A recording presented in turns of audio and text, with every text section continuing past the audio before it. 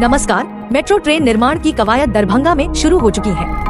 Rights company के साथ हुई बैठक में सांसद, विधायक, जिलाधिकारी और मेयर सभी उपस्थित रहे। पहली बार दरभंगा में मेट्रो रूट को लेकर चर्चा हुई, जिसमें संभावित 23 किलोमीटर के रूट पर मंथन किया गया। आइए, जानते हैं इस खास खबर के बारे में।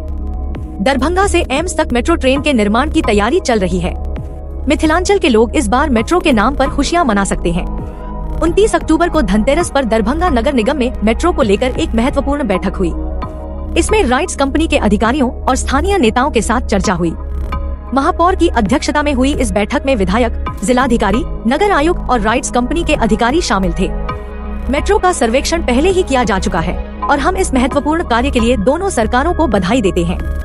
दरभंगा में मेट्रो रूट को लेकर यह पहली बैठक थी।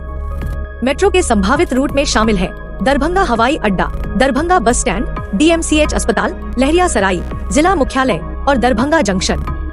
मेट्रो को रिंग रोड की तर्ज पर बनाने की योजना है, जो दरभंगा एयरपोर्ट तक जाएगी।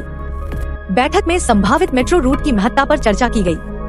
पहले चरण में रूट को रिंग रोड के अनुसार बनाने पर ज़ोर दिया गया, जबकि दूसरे और तीसरे चरण में विस्तार करने की योजना है।